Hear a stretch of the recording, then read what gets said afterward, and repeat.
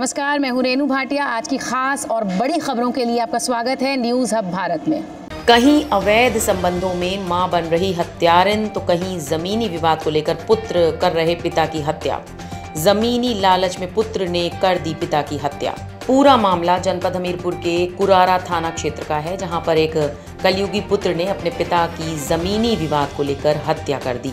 कलयुग में रिश्तों पर भारी पड़ रही ज़मीन जायदाद लालच और अवैध संबंध आपको बता दें कि अभी तीन दिन पहले ही एक माँ ने अवैध संबंधों के चलते राठ कोतवाली के ग्राम गालिया में अपने सात वर्षीय पुत्र की हत्या कर दी और आरोप पति पर लगा दिया था।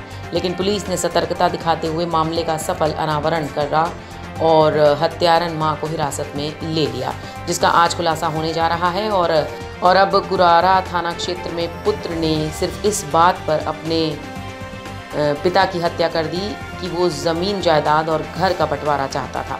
सोचने वाली बात है कि जिस बाप ने उंगली पकड़कर अपने पुत्र को चलना सिखाया और दुनियादारी को समझाया, उसी पुत्र ने आज अपने बाप को फरसे से हमला कर लहूलुहान कर दिया, जिसको इलाज के लिए पुलिस द्वारा स्वास्थ्य केंद्र ले जाया गया, जहाँ पर इलाज चल रहा है, लेकिन पिता ने इलाज के दौरान दम तोड़ दिया।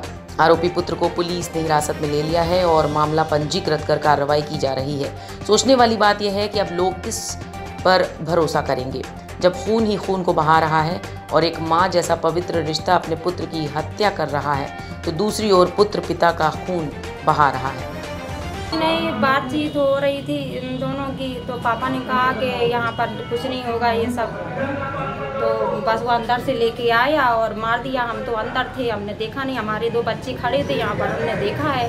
और सासू माँ यहाँ लेटी थी हमारी। किस बात को लेकर झगड़ा हुआ? यहाँ पर कह रहा था कि हमको यहाँ पर अपनी व्यवस्था बनानी है हमको खाना बनाना है यहाँ सामान रखना है। तो बस इतनी सी बात में हो गया और कुछ नहीं। किस चीज़ से प्रहार किया था उन्होंने? हमला किस चीज़ से किया था? फरसा से किया है। आज दिन में साढ़े ग्यारह बजे के आसपास पुरारा कस्बे में कृपा शंकर उर्फ़ मिठाईलाल सोनी को उनके लड़के रामेंद्र उर्फ़ रामू सोनी ने गणासा फरसा से वार करके गले में चोट पहुँचा दिया जिससे वो गंभीर रूप से घायल हो गए। इसकी सूचना पर पुलिस मौके पर पहुँची और उनके लड़के को गिरफ़्तार कर लिया गया फरसे के साथ और उसके विरुद्ध मुकदमा पंजीकृत किया गया तीन सौ सात का। और इन्हें ले जाया गया सदर अस्पताल, जहाँ डॉक्टर इलाज कर रहे थे। इलाज के दौरान ही इनकी मृत्यु हो गई है। घटना के बारे में बताया जाता था कि इनका लड़का कहता था, मुझे घर और ज़मीन बांट दीजिए, मुझे अलग रहना है।